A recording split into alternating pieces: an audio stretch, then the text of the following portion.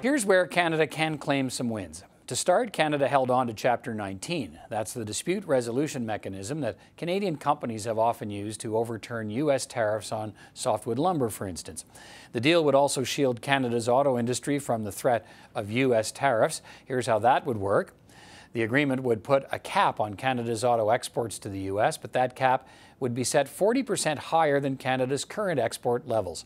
There would also be an exemption for Canadian auto exports above that cap, provided they meet new auto content rules. Canada can also claim a win on cultural exemptions. They will remain unchanged from the original NAFTA, protecting Canadian newspapers and TV stations from U.S. takeovers. Another win for Canada, the absence of a five year sunset clause.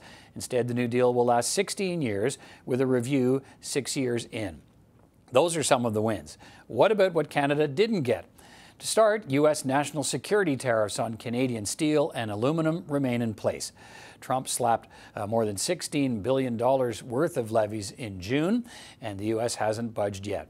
Canada also bowed to U.S. pressure to increase patent protections for biologic drugs. Down the road, that will mean higher drug costs for Canadians. And Canadian negotiators also gave ground on supply management.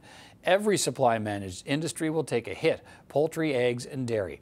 That means American farmers will have greater access to Canada's market, spelling more competition for farmers here at home.